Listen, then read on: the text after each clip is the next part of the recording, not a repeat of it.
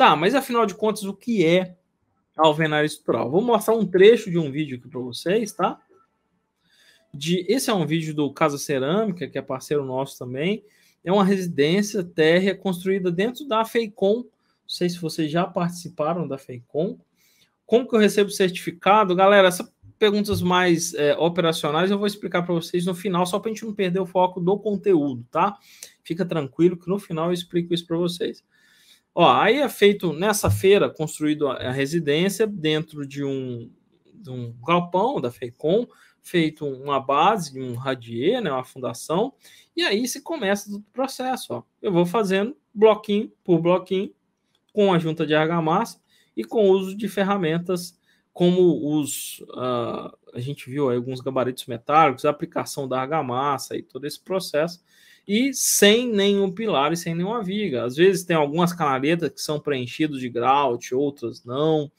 É, a instalação elétrica embutida, sempre com a caixinha elétrica aí, a hidráulica não, vamos entender os porquês, e aí com muita rapidez, né? Porque eu não tenho que fazer escora, não tenho que fazer forma, não tenho que ficar armando pilar, um ponto de grout ou outro, é, e se faz com muita velocidade uma residência, tá? Eu não tenho que esperar escora e reescora, enfim, aí está sendo feito uma casa do início ao fim. Vale grout industrializado em relação à economia? Vale. Vale. Sem dúvida. É, eu prefiro que seja industrializado, você tem uma qualidade muito melhor e economia também, né? Não adianta só priorizar a economia, o que a gente está falando. E aí, ó, está sendo feito a casa, um telhado estrutura metálico, gesso direto na parede.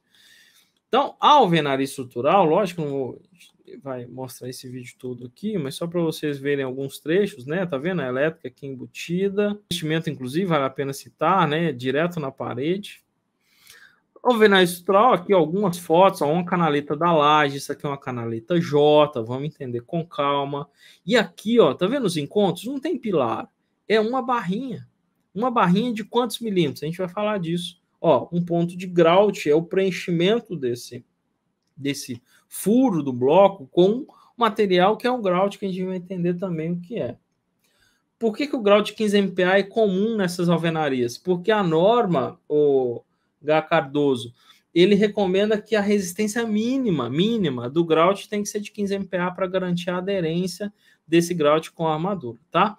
Então ela não pode ser menos que 15 MPa. Tá vendo? Gabaritos metálicos para preferir para garantir o perfeito dimensionamento, que a gente não pode ficar cortando o bloco e isso nos ajuda muito